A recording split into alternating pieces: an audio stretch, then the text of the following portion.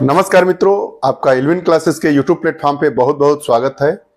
चुनावी bond electoral bond, जिसे चुनावी चंदे की संज्ञा दी गई है, चंदा देने वाला व्यक्ति का नाम ओपन नहीं किया जाता है, अर्थात गुमनाम रहता है, जिससे हमारे संविधान के अनुच्छेद 19 एक ए का उल्लंघन होता है। ऐसा हमारे मुख्य न्यायाधीश, भारत के मुख्य न्यायाधीश चंद्रचूड़ जी का कल निर्णय आया है, जिसमें चुनावी चंदे को इलेक्ट्रोलर बॉन्ड्स के द्वारा जो चंदे दिए गए हैं, उसको असंवैधानिक करार दिया गया है, मामला तोल पकड़ता नज़र आ रहा है। अभी दो तीन महीनों बाद 2024 का लोकसभा का चुनाव होने वाला है, सबसे ज़्यादा जो केंद्र में सरकार है, उनके पास इस प्रकार के चंदे आए हैं, उसके बाद सभी पार्टियों के पास लगभग लगभग चंदे आए हैं। आइए जानते हैं कि इस निर्णय का क्या असर पड़ेगा, यह निर्णय क्यों दिया गया, चुनावी बांड होता क्या है और किस पार्टी को सबसे ज़्यादा इससे दिक्कत होने वाली है। तो आज की इस हम कक्षा में बात करेंगे कि सुप्रीम कोर्ट के सुप्रीम फैसले से किस पार्टी को सबसे ज़्यादा नुकसान होगा। आज की इस कक्षा में हम बात करने वाले हैं, जो चर्चा के हमारे पक्ष होंगे कि खबर क्या है, चुनावी बांड स्कीम क्या क्या है, आलोचना और सरकार का पक्ष क्या है। और हमारे सुप्रीम कोर्ट का निर्णय क्या आया है? इन चारों को केंद्र में रखकर हमारी इस कक्षा की बातें होंगी, इस पर चर्चाएँ होंगी। तो आइए बात कर लेते हैं चुनावी बांड स्कीम। चुनावी बांड स्कीम क्या है? चुनावी बांड स्कीम अरुण जेटली जब वित्त मंत्री थे वर्ष 2017 में तो इस प्रकार के बांड को प्रस्तुत किया गया था। चुनावी बांड प्रणाली वित्त विधेयक 2017 के माध्यम से प्रस्तुत की गई थी। जो वर्ष 2018 से लागू हो गई है। चुनावी बांड प्रणाली वित्त वित्त विधेयक 2017 के माध्यम से प्रस्तुत किया गया था, पास किया गया था और वर्ष 2018 से इसको लागू कर दिया गया। किस किस दल को यह चुनावी बांड मतलब इसके तहत पैसा प्राप्त हो सकता है? तो जो पंजीकृत राजनीतिक दलों को व्यक्तिगत या संस्थागत दान देने के लिए यह साधन है और देनदाता जो दान करेगा, जो चुनावी बांड के माध्यम से सीधे पार्टी फंड में पैसा ट्रांसफ़र करेगा, उसका नाम गुमनाम रखा जाएगा, अर्थात उसके नाम को उजागर नहीं किया जाएगा। जो चुनावी बांड है, केवल एक ही बैंक है, भारत में वह जारी करता है, उसका नाम स्टेट बैंक ऑफ़ इंडिया है। एसबीआई केवल चुनावी बांड जारी करने वाला भारत का बैंक है, जो एक हज़ार रुपए से लेकर, एक हज़ार रुपए के भी चुनावी बांड जारी कर सकता है, दस हज़ार के भी, एक लाख रुपए तक दस लाख रुपए तक का एक करोड़ के बांड वो जारी कर सकता है। बांड जब जारी होता है तो जिस तारीख से जारी होता है, उस तारीख के पंद्रह दिन के अंदर तक ही उसकी वैल्यूबिलिटी रहती है वैल्यूएबल रहता है। जैसे एक तारीख को चुनावी बांड एक करोड़ रुपए का जारी कर दिया गया तो उसको पंद्रह तारीख तक ही किसी न किसी पार्टी को, जो राजनीतिक दल है, उनको चंदे के रूप में दे देना होगा, तभी उसकी मान्यता है, अन्यथा वह निरस्त हो जाएगा। अगली लाइन हमारी है जारी होने की तारीख से पंद्रह दिनों के लिए यह वैध होता है। अब यह कैसे? जन प्रतिनिधित्व अधिनियम उन्नीस सौ इक्यावन की धारा उनतीस एक के तहत पंजीकृत राजनीतिक दलों को यह दिया जाता है, जो जन प्रतिनिधित्व अधिनियम उन्नीस सौ इक्यावन की धारा उनतीस ए के अंतर्गत जितने पंजीकृत राजनीतिक दल हैं, आप उनको चुनावी बांड के माध्यम से पैसा दे सकते हैं, आपका नाम गुमनाम रहेगा। अर्थात आप पार्टी के करीबी बन सकते हैं बिना चर्चा में आए हुए। डिजिटल अथवा चेक के माध्यम से खरीद सकते हैं। चुनावी बांड को आप डिजिटल लेन देन के माध्यम से या चेक देकर भी उसको खरीद सकते हैं। नगदीकरण केवल राजनीतिक दलों के अधिकृत खाते में ही जाएगा। और जो चुनावी बांड की रकम होगी वो नगद नगद के रूप में सरकार एसबीआई किसको देगी? चुनाव के जो राजनीतिक पार्टियाँ हैं, उनके खाते में दे देगी। चुनावी बांड स्कीम 2017 में प्रस्तुत की गई थी 2018 में लागू की गई थी। इस केवल एसबीआई ही प्राधिकृत बैंक है, जो चुनावी बांड को जारी करता है। एक हज़ार रुपए, दस हज़ार रुपए, एक लाख रुपए, दस लाख रुपए, एक करोड़ रुपए तक के चुनावी बांड जारी किए जा सकते हैं।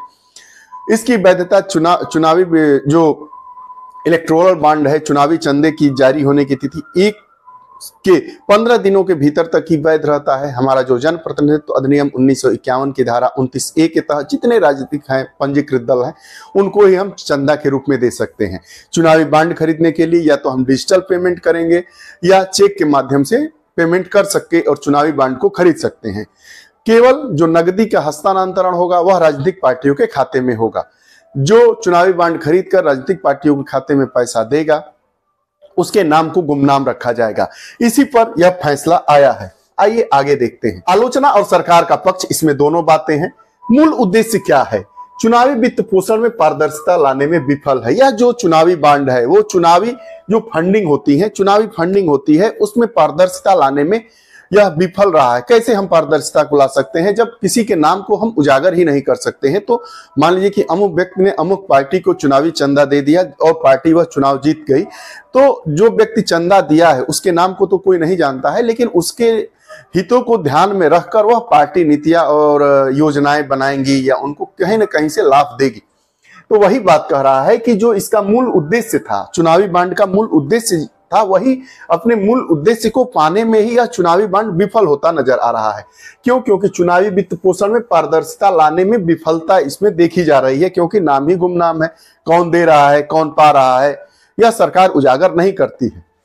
उसके बाद जो वित्त अधिनियम में संशोधन से राजनीतिक दलों को बांड से प्राप्त धन का खुलासा करने से छूट है। वित्त अधिनियम में जो हमारा फाइनेंशियल एक्ट है, फाइनेंस एक्ट है, में संशोधन करके राजनीतिक दलों को बांड से प्राप्त धन का खुलासा करने से छूट है कि हमें इस इलेक्ट्रोल बांड से अमुक रुपया मिला, इतना हज़ार करोड़ मिला, इतना लाख करोड़ रुपया मिला, इसको हम उजागर नहीं करेंगे, उससे छूट दे दिया गया है। ये लोग खुद ही अपना संविधान संशोधन कर लिए हैं। राजनीतिक दलों को असीमित कारपोरेट वित्त पोषण का द्वार खोलता है। जो राजनीतिक दल है, उनको कारपोरेट सेक्टर असीमित पैसा दे सकता है। उस पर कोई पाबंदी नहीं है। क्रोनी कैपिटलिज्म से इसको बढ़ावा मिलेगा और सूचना के अधिकार से इसको समझौता है। मतलब सूचना के अधिकार के तहत हम नहीं पूछ सकते हैं कि किस पार्टी को, किस व्यक्ति के द्वारा कितना चुनावी बांड के रूप में पैसा मिला है, चंदा मिला है। ये रही इनकी आलोचना। अब सरकार इसमें क्या अपना पक्ष देती है? सरकार पक्ष देती है कि देनदाता के निजता के अधिकार की सुरक्षा, देनदाता के निजता की अधिकार की सुरक्षा रहती है कि अमुक व्यक्ति ने इतना पैसा इस पार्टी को दिया। सरकार का अपना पक्ष है। सरकार का पक्ष ये है कि जो वैचारिक रूप से कोई व्यक्ति किसी पार्टी से जुड़ा है और वह अपना नाम उजागर नहीं करना चाहता है और पार्टी को मदद देना चाहता है तो चुनावी बांड के माध्यम से वह करोड़ों रुपए, अरबों रुपए बांड के रूप में हस्तांतरण कर सकता है राजनीतिक पार्टी के खाते में, जिससे उसकी निजता की सुरक्षा है। राजनीति में काले धन के प्रवाह को रोकना। अब राजनीति में काले धन के प्रवाह को रोका जाएगा। डायरेक्ट पैसा नहीं आएगा। जो पैसा आएगा, वो SBI, State Bank of India के इमीडिएटरी में उसी को पैसा देकर, उससे चुनावी बांड खरीदकर, तब हस्तांतरित किया जाएगा।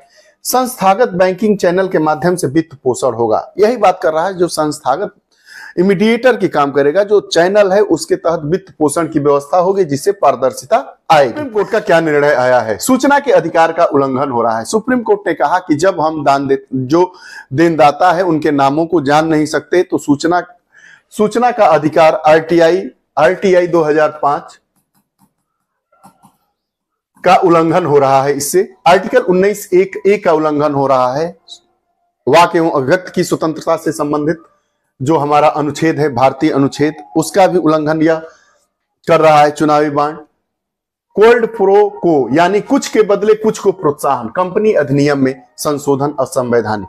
कुछ के बदले कुछ को प्रोत्साहन दिया जा रहा है मतलब कुछ ले लेंगे और कुछ को प्रोत्साहित करेंगे, इसको बढ़ावा मिल रहा है। वो जो, और इसके तहत जो संवैधानिक संशोधन किया गया है, वह असंवैधानिक है।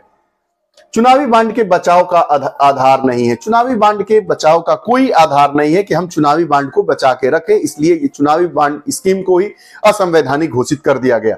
इससे काले धन का प्रवाह रोकना नहीं दिख रहा है। काले धन का प्रवाह रोकना इससे मुमकिन नहीं है।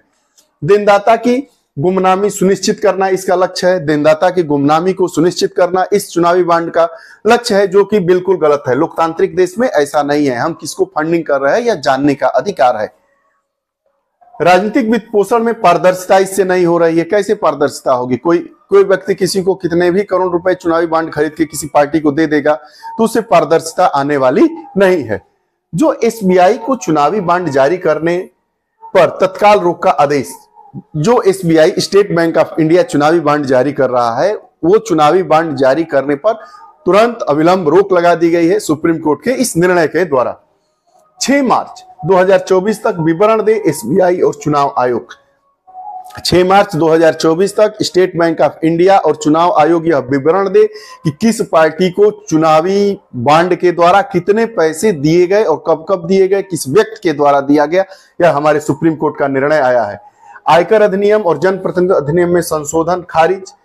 जो इसमें संशोधन करके छूट दे दिया गया था कि किसी व्यक्ति के नाम को उजागर नहीं किया जाएगा या कोई आरटीआई के तहत पूछता है कि किस पार्टी को चुनावी बांड के रूप में कितने पैसे मिले हैं, कितने करोड़ रुपए मिले हैं तो वो सूचना देने से जो संविधान का संशोधन करके छूट दी गई थी, उस छूट को खारिज कर दिया गया है, उस संविधान संशोधन को खारिज कर दिया गया है और उसको असंवैधानिक घोषित कर दिया गया है।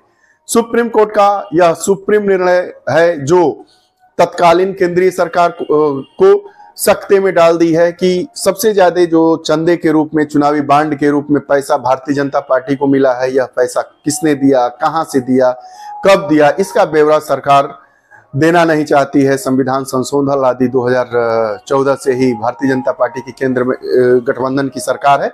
तो सुप्रीम कोर्ट ने यह निर्णय दिया है, ज़रूर ही इस निर्णयों का असर सभी पार्टियों पर थोड़ा बहुत होगा। ये रही चुनावी बांड से संबंधित। अब आगे देखना हो कि इस पर सरकार का क्या कदम होता है तो आगे अगली कक्षाओं में हम इन सारी बातों पर चर्चा करेंगे। यह हमारी कक्षा रही। आपको हमारी कक्षा कैसी लगती है, कृपया कमेंट बॉक्स में अपने विचार ज़रूर दें। पुनः नई कक्षा के साथ उपस्थित होंगे। तब तक के लिए बहुत बहुत धन्यवाद। नमस्कार।